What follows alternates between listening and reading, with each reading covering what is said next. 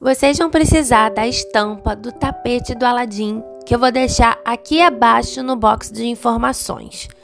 Depois, colhe essa estampa em uma cartolina roxa e em seguida em uma cartolina amarela.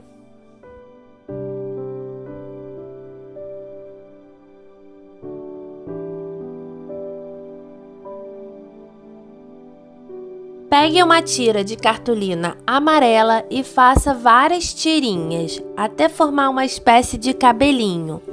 Enrole esse cabelinho e cole nas quatro pontas do tapete.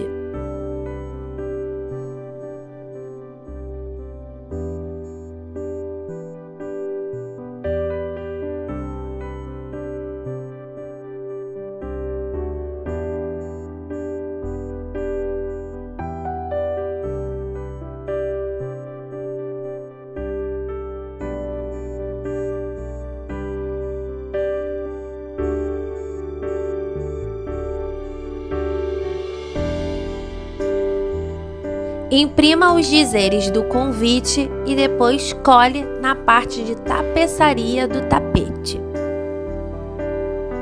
Enrole esse tapete e amarre com uma fitinha. A ideia é que você entregue o convite como se fosse um pergaminho, sem a pessoa saber o que, que é e nem qual o tema da festa. E quando abra, ela descubra que é uma festa do Aladim. Então é isso, pessoal. Espero que vocês tenham gostado do vídeo de hoje. Não esqueça de se inscrever aqui no canal, de curtir e compartilhar esse vídeo. Um grande beijo e até o próximo. Tchau!